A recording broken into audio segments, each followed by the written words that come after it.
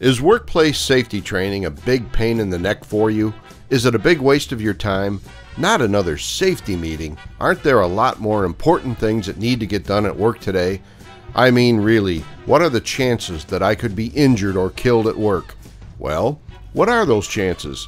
In the United States, the latest figures from the U.S. Bureau of Labor Statistics show that an average of 85 workers in the U.S. are killed every week. That's about 12 a day. This means that for every 100,000 workers, slightly more than three will die this year in a work related fatality. The same statistics show that more than 4 million workers suffer a serious job related injury or illness every year. Therefore, for every 100 workers, more than 3 will get seriously injured or ill on the job this year. They will suffer and their families will suffer the physical, financial, and emotional hardship that come along with injuries and illness. What are your odds of getting killed at work? In the United States, slightly more than 3 workers out of every 100,000 will get killed this year. Your odds of getting seriously seriously ill or injured are much greater, more than 3 out of every 100 workers. These are not the type of lotteries you want to win. Since 1970, death and injury rates in the U.S. have fallen by almost 70%. What happened? In the late 60s,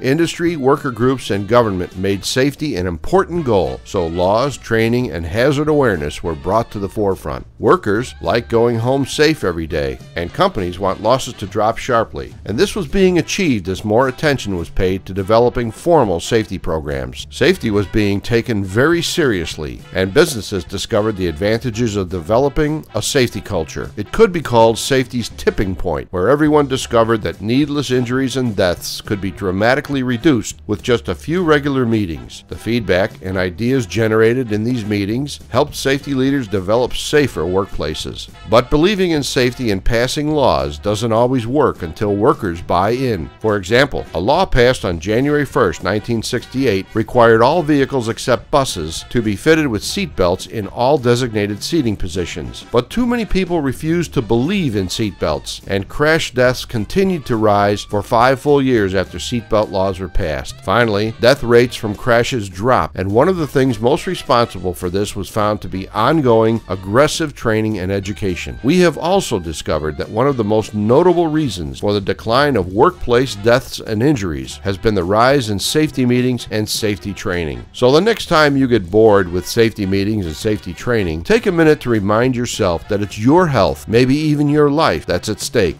Pay attention. You owe it to everyone who depends on you.